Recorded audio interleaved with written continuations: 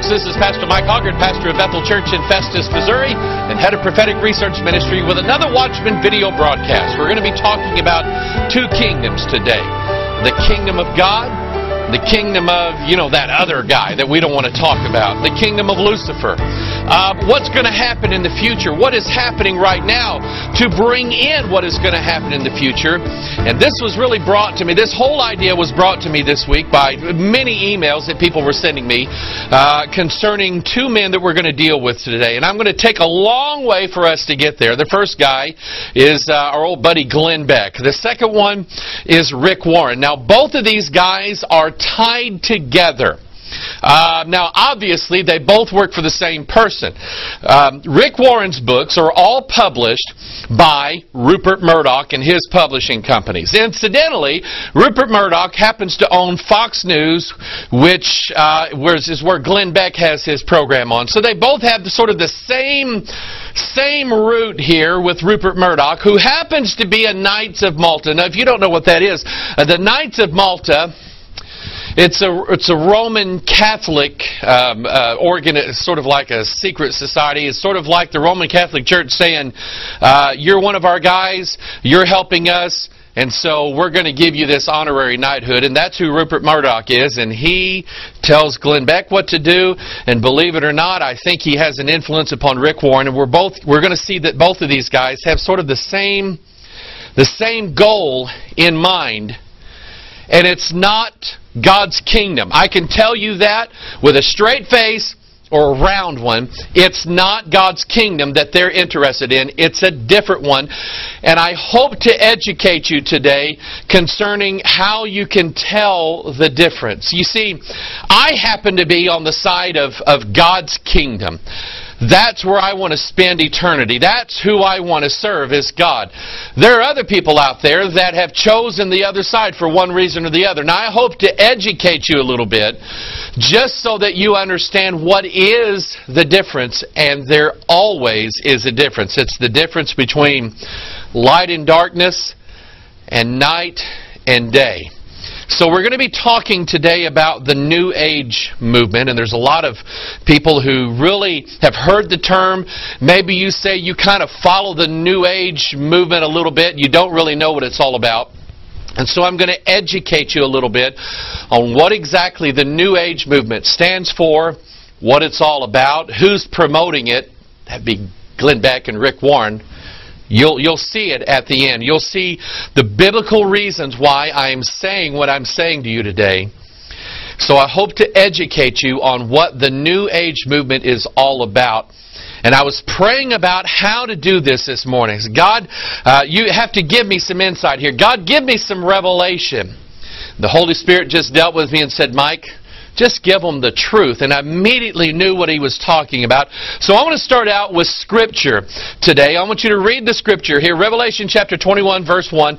And I saw a new heaven and a new earth, for the first heaven and the first earth were passed away, and there was no more sea. And I, John, saw the holy city, New Jerusalem. I want you to look at the words new here. New heaven, new earth. Um, New Jerusalem coming down from God out of heaven, prepared as a bride adorned for her husband. I want you to get this idea because this is really the original intention of God. God always intended to have a new heaven and a new earth, a new Jerusalem that was to be a picture. The whole thing is a picture now of Jesus the bridegroom and the bride of the church. And those two coming together and becoming the body, the new body of our Lord and Savior Jesus Christ. This is the plan of the ages. This plan you can trace all the way back to the book of Genesis. In Genesis chapter 2, God looked at the man whom Luke referred to as the Son of God, referring to Adam, the first Adam.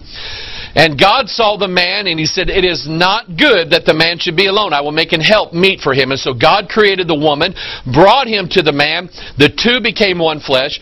This really is the, is the picture of what is going to happen in the last days with a new heaven, a new earth, a new Jerusalem. And so we see that the marriage bond between a husband and a wife Not between a husband and a husband, not between a wife and a wife, not between a husband and some other animal or anything like that, but between a man and a woman. This was the plan of the agents. And so you know that the devil is going to have something that kind of looks like that, but it's going to be its mirror image of what God had intended. But notice that he's talking about everything being made new. In Revelation 21 verse 3, the Bible says, And I heard a great voice out of heaven saying, Behold, the tabernacle of God is with men, and he will dwell with them, and they shall be his people, and God himself shall be with them, and be their God. And God shall wipe away all tears from their eyes, and there shall be no more death, neither sorrow, no crying, neither shall there be any more pain, for the former things are passed away. Now I'm going to stop right here because I'm reading this verse, and I'm, I'm, as I'm reading this verse, and I see the glories of what God has in store for us in the last days, I see the opposite here. Notice that he's saying here uh, that God shall wipe away all tears from their eyes, and there shall be no more death, neither sorrow nor crying, neither shall there be any more pain. I'm telling you that hell is the exact opposite of that. Hell is full of tears. Hell is full of death. In fact, it's the place of death. Hell is full of sorrow, and hell is full of crying, and hell is a place of absolute torture. It is the exact opposite of what God has in store. Notice verse 5, and he said, He that sat upon the throne, that's Jesus Christ, said, Behold, I make all things new.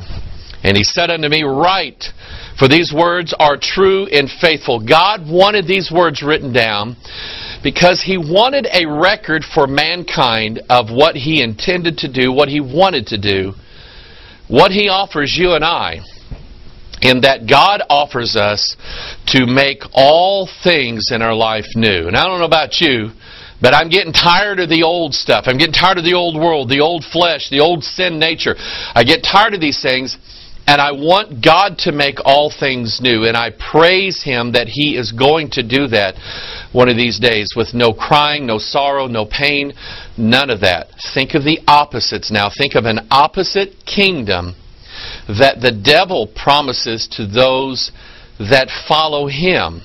And I want you to think about that as we move on. I want you to notice also Revelation chapter 21 verse 10.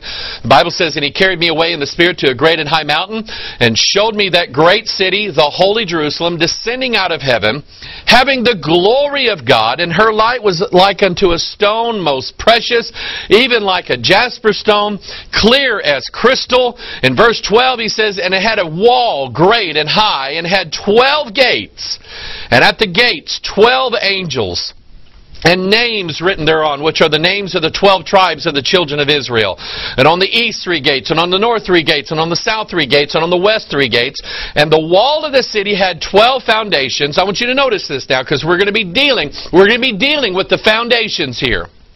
The wall of the city had 12 foundations, and in them the names of the 12 apostles of the Lamb. So I want you to understand this that the, the building of this new Jerusalem, this beautiful city that comes down from God out of heaven and bridges the gap between heaven and earth, this city has 12 gates. It has 12 angels.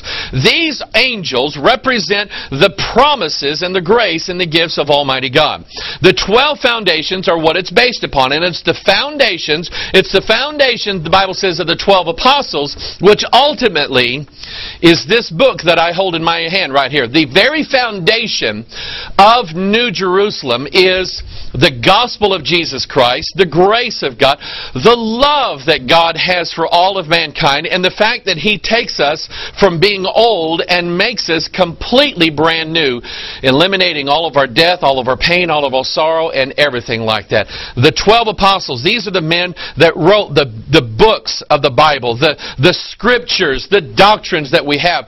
Paul writing the, that love love chapter, 1 Corinthians chapter 13, that charity chapter. Things like, greater love hath no man than this, that a man lay down his life for his friend. These are the men that wrote words like this. They were the very words of God. They are the foundation, number one, of God.